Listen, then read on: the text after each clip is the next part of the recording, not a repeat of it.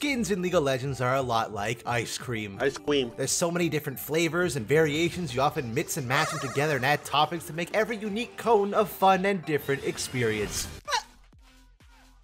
The Cosmic skins are vanilla ice cream in a plastic container. Well structured, solidly made, visually passable, but oh so Boring. like, you can't tell me any champion main would honestly say, hey, my character hasn't gotten a skin in a long time. You know what skinline I'd want one from for them? The table scraps of Space Groove. The one cool thing, at least, is that Cosmic is one of the few skin lines with a story that has actually progressed over the years. During our last bout with Cosmic, we as players got to choose whether Lux beat the darkness inside of her or succumb to its madness. In the end, Darkstar won, the Cosmic Court was destroyed, and now in 2023, the lone cosmic being Bel'Veth is left to pick up the pieces. Imbuing mortals she finds worthy enough to wield her power against the forces of capitalism. I mean Darkstar. Most of these I'm gonna gloss over quite quickly. One, because they're pretty basic. Two, because they're hardly visually distinct from one another. But three, and most importantly, you guys already know which of these I want to talk about the most. So let's get it underway, shall we? Starting with Cosmic Matriarch Bel'Veth. Talk about a monkey's paw. Imagine waiting over a year for your first pre-launch skin and it's fucking cosmic.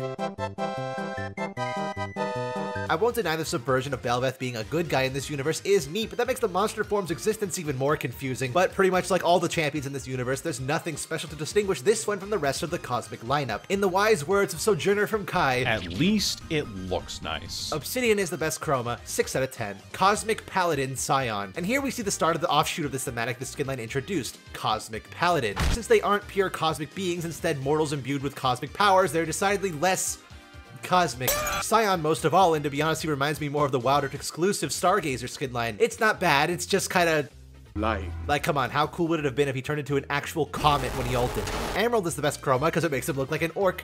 6 out of 10. Cosmic Paladin Nautilus. The whole Paladin part on this one is not very strong. Remove his red vest and he's indistinguishable from the cosmic skins of old. And while I don't particularly enjoy comparing older skins, I think Fright Night Nautilus taught us pretty well that in his current state, Nautilus skins work best when his goofy proportions are used in favor of goofy skins. This one's okay, it's just a bit disappointing. Pearl is the best chroma, 5 out of 10. Cosmic Paladin Nunu. Out of all the Cosmic Paladins, the Stargazer influence bleeds through on this one the most, but I actually kinda like it. The colors are well balanced, and with his already bizarre anatomy, Willump is pretty believable as a cosmic being. Though Nunu is a bit strange, because apparently they were both imbued with Bel'Veth's power, despite Willump being the only one that looks the part, so Nunu's just a planet-sized normal child, I guess. It's probably the best of this new bunch, not surprising considering when has a Nunu skin ever missed. Obsidian is the best chroma, 8 out of 10. Dark Cosmic Erasure Jhin. Guys, I don't get it. What's the big deal? It's just an ordinary mythic chroma. Oh my goodness!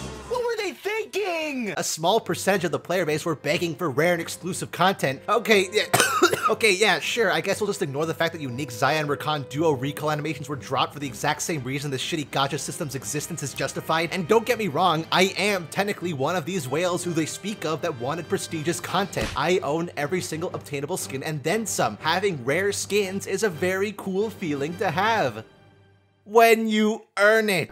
Exclusive and rare content implies you had to actually do something to obtain it. Maybe this would be your reward for hitting 1 million mastery points on Jhin. Maybe it costs 500,000 blue essence in the Emporium. Something that would make it feel special and, you know, rare. Because no, spending hundreds of dollars for the chance to get a digital cosmetic with an artificial drop rate that can change at any time like they did in TFT is not rarity. When I see someone using Black Alistar or King Rammus or Silver Kayle, I think, that's a cool and retro skin. They must have been playing this game for a long time to own that.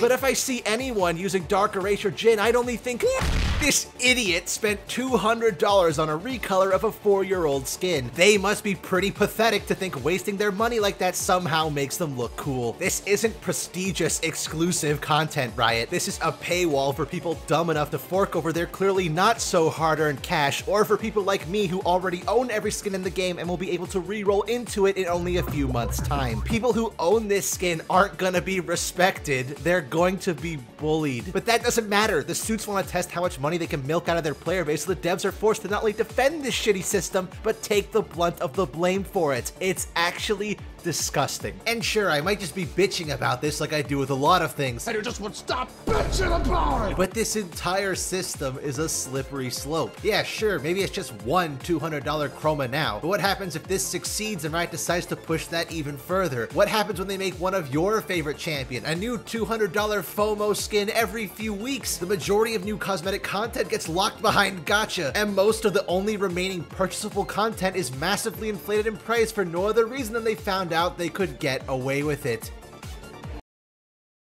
That one they're already kind of doing. Dark Cosmic Erasure Jhin is a new low for cosmetics in League of Legends. The suits at Riot should be ashamed of both themselves and what they've had to put the devs through to make this insult to their player base a reality. I'm gonna do it. I'm gonna do it. You can't fucking stop me. I'm gonna fucking do it. It's a zero out of 10. It's fine though, right? I mean, it's all for a good cause. I'm sure Riot needs that money to pay for their Midjourney subscription. Overall, Cosmic's Return gets a 4 out of 10. There's one really nice skin here, but to be honest, I don't know what I even expected. They tried to do something a little different with the Cosmic Paladins, but some are so minorly influenced by that new idea, from a glance I can hardly tell them apart from the old skins. But those are my thoughts. What do you fellas think of Cosmic's Return? Perhaps unlike me, you're actually a big fan of this thematic, and you know what? More power to you. However, if you think Dark Cosmic Erasure Jhin is good or justified in any way, I will dismember your cranium from your cortex and throw you into the fiery pits of hell. Until next time though, fellas, let's hope literally nobody buys this shit so Riot never does it again, and that I'll see you in the next video.